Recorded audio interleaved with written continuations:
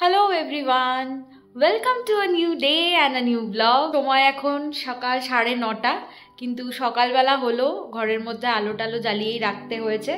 তার কারণ হচ্ছে এখানকার টিপিক্যাল গ্লুমি ওয়েদার সকালবেলা উঠেই আগে আমি বেডরুমের পর্দাটা সরিয়ে দেখে নিই যে ওয়েদারটা আজকে কেমন। যেদিন দেখি একটু রোদ টোদ উঠেছে, আকাশ পরিষ্কার, মনটা অটোমেটিক্যালি খুশি হয়ে যায় তখন না আর বাড়িতে থাকতে ইচ্ছা করে না। কিন্তু যেদিনকে দেখি যে এরকম মেঘলা মুখ কালো করে আছে আকাশের, সেদিনকে আর আমার ঘুম থেকে ওঠার মোটিভেশনটাই চলে যায়। মনে কী হবে, উঠে লেপ কম্বল মুড়ি দিয়ে ঘুমোই, ওটাই ভালো। কিন্তু কিছু করার নেই, উঠতেও হবে, কাজকর্ম করতেও হবে, কারণ এখানে নিজে না করলে কেউ করে দেবে না বা অর্ডার করলেও যে একটু ভাত মাছ পাবো তারও কোনো জো নেই। সুতরাং নিজের কাজ নিজেকেই করতে হবে, তাই নিজেকে ঠেলে ঠেলে তুলতে হয়। আর প্রণব এখনও বিছানায় ওঠেনি এখনও, আমি চা বসিয়ে ওকে দু তিনবার হাঁক দিয়ে এলাম যে ওঠোরে ওঠোরে চাটা খেয়ে একটু বেরোলাম, বাড়ির জন্য কিছু বাজার দোকান করতে হবে। দেখা যাক, আর ব্রেকফাস্টটাও আজকে বাইরেই হয়তো করব। বেরিয়ে পড়েছি আর বাইরে আজকে মারাত্মক ঠান্ডা। চলে এসেছি দোকানে, আর এই দেখুন, এখানেও কিন্তু শুটকি মাছ বিক্রি হয়। ফিফটিন ইউরো প্রায় মানে ধরুন ওই সাড়ে তেরোশো টাকা ভারতীয় টাকায়। নিতে এসছি একটু টুকটাক স্ন্যাক্স, দুটো নুডলস নিচ্ছি, আর পাউরুটির সাথে খাওয়ার জন্য জ্যাম নেব, দেখি আবার। প্রণবের কোনটা পছন্দ হয়? আর ব্রেকফাস্টের জন্য নিচ্ছি এই যে, এরকম দুটো র্যাপ জিনিসপত্র নিয়ে ফিরছিলামই তার মধ্যে শুরু হয়েছে স্নোফল এই প্রথমবার আমি মানে স্নোফল হচ্ছে আর আমি বাইরে রয়েছি। এর আগে যতবার স্নোফল হয়েছে, ঘরের ভেতরেই ছিলাম। আর প্রণব আমাকে ঠান্ডা লাগার ভয় বাইরে বেরোতে দিত না খুব একটা। বাট এইবার ফর্চুনেটলি আমি বাইরে।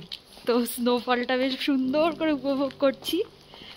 আর টেম্পারেচার নেমে গেছে মাইনাস তিন এখন।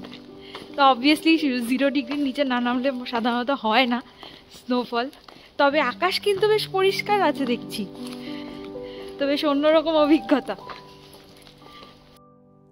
বেশ জোরে জোরে স্নোফল হচ্ছে এই দেখুন, রাস্তার দুপাশগুলো সাদা সাদা স্নোয়ে অনেকটাই কিন্তু ঢেকে গেছে। এই দেখুন, খুব জোরে না হলেও মানে এর আগের বারে যখন হয়েছিল, তখন পুরো এই চাল টালগুলো ঢেকে গেছিল। সেই রকম জোরে না হলেও বেশ ভালোই বোঝা যাচ্ছে যে স্নোফল হচ্ছে, তাই না? আসলে আজকে আকাশটা আগের দিনের থেকে অনেকটা পরিষ্কার। একটু একটু রোদও উঠছিল একটু আগে সেই জন্যই বোধ হয় স্নোফলটা অতটা জোরে হচ্ছে না। তবে স্নোফল হলেই মনে একটা আলাদাই আনন্দ হয়। এই আমরা জাস্ট ফিরলাম এবার রান্না বান্না শুরু করব আর বাইরের থেকে ঘরের মধ্যে ঢুকে না একটা মানে গরম একটা বেশ আরাম লাগে। লাঞ্চে আজকে বানাবো পমফ্রেটের কারি। এই পমফ্রেটটা ব্রাসেলসের বাংলাদেশি স্টোর থেকে প্রণবের জন্মদিনের সময় নিয়ে এসেছিলাম। একটা প্যাকেটে তিনটে ছিল। সব থেকে বড় যে মাছটা ছিল, সেটা প্রণবের জন্মদিনে তন্দুরি ফ্রাই করে দিয়েছিলাম। আর বাকি দুটো মাঝারি মাপের ছিল।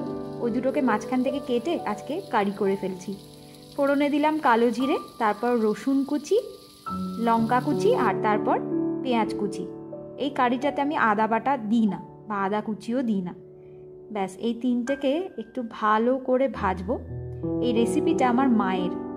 বড্ড ভালো বানাতো মা এটা। মায়ের থেকেই এখন আমি এই বাড়ির কারিটা বানাই পমফ্রেট যখনই বাড়িতে আসে। চারটে ছোট টমেটোর কিউব দিলাম, তারপর দিয়ে দিলাম একটু নুন। তারপর এটাকে একটু ভালো করে ভেজে নেব, আর তারপর দেব হলুদ গুঁড়ো আর লঙ্কা গুঁড়ো। এই রান্নাটাতে এই মশলাটা ছাড়া আর কোনো মশলাই আমি দিই না। লাস্টে নামানোর আগে একটু গরম মশলা দিয়ে নামিয়ে দেব। ব্যাস, মশলা টশলা যা দেওয়ার দেওয়া হয়ে গেছে। এবার ভালো করে একটু নাড়ব। ঢাকা দিয়ে রাখলাম, তেলটা ছেড়ে এসছে। এই দেখুন, কি সুন্দর। একটা দারুণ টেক্সচারও চলে এসছে এটার।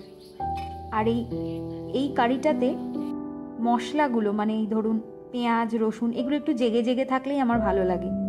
এবার ভাজা মাছগুলো এর মধ্যে দিয়ে দিলাম। এবার একটু হালকা করে এর গায়ে কারিটা লাগিয়ে নেব। ব্যাস, এরপর আবার ঢাকা চাপা দিয়ে দিচ্ছি। হতে থাক পাঁচ মিনিট। এই দেখুন আজকের রান্না। চিংড়ি মাছ, বাঁধাকপি দিয়ে। এই যে পমফ্রেটের কারির ফাইনাল লুক আর এই হচ্ছে ভাত। চলুন লাঞ্চটা করে নিই। একেই তো প্রিয় মাছ তার মধ্যে রান্নাটা সত্যি খুব চমৎকার হয়েছে। একদম মায়ের হাতের আমার মা করতো ছোটবেলায় একদম সেরকম।